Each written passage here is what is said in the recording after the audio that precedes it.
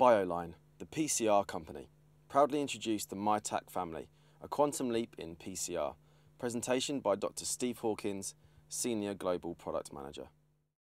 BioLine is a company that serves the molecular biology area and we have in the last 20 years produced a number of innovative products for this area and today I want to talk to you about one of our latest ones, the MyTaq family. MyTaq gives very high performance, works with all your DNA templates, gives significantly increased yields and is very fast, making MyTaq perfect for all your experiments. So why pick MyTaq? Well, if you look at a typical experiment, what we have is we have denaturation of your DNA, then we go through a cycle of denaturation, annealing and extension. All of this takes approximately an hour to an hour and a half. So how can we improve this? Well, first of all, what we can do is we can reduce the amount of cycles and the amount of steps we do. Secondly, we can shorten the time taken for those cycles and those steps. And thirdly, we can actually reduce the ramping time, how long it takes to go from one temperature to another temperature. All of these are mechanical and they don't really improve the overall time it takes to do the PCR. So with the MyTaq, what we've actually done is we found a faster polymerase. So what does this actually mean? You can see from this slide running very fast and using a standard polymerase, you end up with a smear. And the reason for this is the polymerase itself doesn't reach the end of the amplicon. It terminates and goes to the next cycle before it can do this, and you end up with smaller fragments and you end up with a smear. With the MyTaq, because it's so much faster, it gives a nice clean result. MyTaq is extremely stable. What this means is if you're using it for the first time, or if you're using it, throwing it out, putting it back into the freezer, taking it back out again, throwing it again, so freeze thawing many, many times, and then you use it, so you can see in this example, up to 30 times, you're getting the same sensitivity from the first time to the last time, so you can be sure of the MyTaq. MyTaq also has higher processivity, What's processivity? Well, processivity is how long the polymerase stays on the DNA. And you'll actually find with MyTaq, the polymerase stays on the DNA for much, much longer. All polymerases have a tendency of falling off.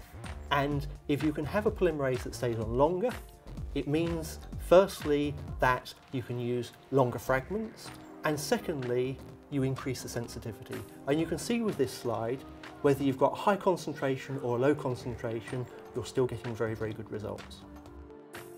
So added together, what this actually shows you is the MyTaq works very, very quickly. And you can see an example of doing an ultra-fast amplification. Now, normally people wouldn't do this, but this shows you that you can actually do a PCR in less than 20 minutes. So MyTaq itself, up to about 1 kb, for ultra-fast PCR is perfect. The polymerase itself is actually only half the process. The other half is the buffer. And what you'll find with many companies is what they'll do is they'll actually create a good polymerase and they will take standard buffers, they will try a number of standard buffers and they will pick a buffer that suits the polymerase. At BioLine what we've actually done is we've taken one step back what we've done is we've actually broken down the buffer itself. We looked at different salts, we looked at different pHs, and we did concentration gradients to actually find the best conditions. Not only this, we also added ultra pure DNTPs and magnesium, so we've optimized it perfectly for the MyTaq. An optimized buffer means that you can work with more complex material. An example here is working with very GC rich material and you can see you're getting very good yields either working with very high amounts of template or very low amounts of template, perfect results.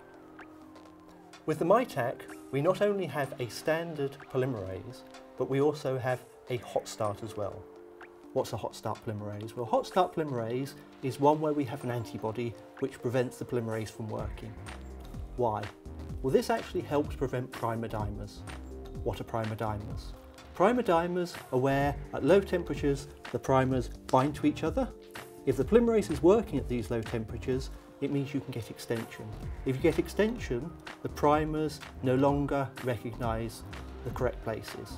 And you can see here in this example where you have a standard polymerase and where you have a hot start. With the standard polymerase, you can see below that fuzzy band, and that fuzzy band is the primer dimers, and it's giving poorer yields. The second thing it allows you to do is to set up your reactions at room temperature.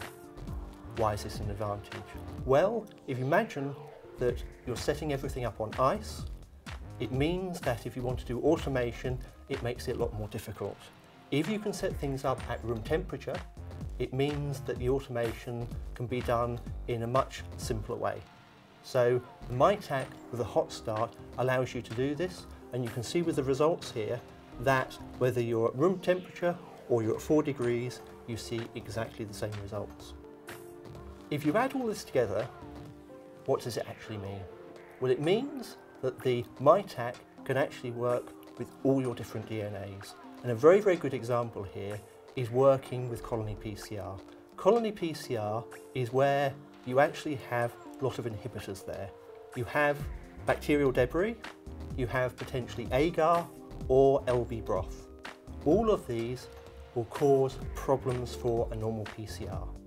And you can see here an example of where we've increased the LB or we've increased, increased the amount of agar and as you go higher, so you get the inhibition, but the inhibition with the MyTaq is much less than with other polymerases. And as a result of this, what we can do, it means we can take a Petri dish, we can pick individual colonies, we can put them into a test tube with buffer and do the PCR and get results. And you can see here, not only can we get results with small fragments, but also with larger fragments. This means you can do screening with colony PCR very easily without optimization. Additional features of the MyTaq. First of all, it's been validated for a full range of genomic DNA. It can be used for amplicons up to about 5 kb. We also have it as a polymerase and a master mix, and we have it with red dye. And that red dye allows you to do the PCR and then run it on an agarose gel. Last but not least, we also have the MyTaq with a reverse transcriptase, so you can do an RT-PCR straight away. Applications of the MyTaq. It can be used for high throughput, it can be used for routine work, it can be used for high genomic, it can be used if you want high yields. And because it's a standard polymerase, it can also be used for TA cloning. For the MyTaq HS, we also have the additional features that it can be used for multiplexing, it can be used with more complex materials, and it can be used for things such as colony PCR. MyTaq's perfect for all of them.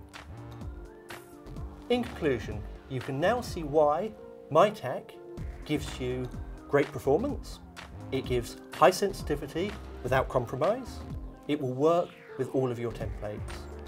MyTaq, perfect for all your experiments.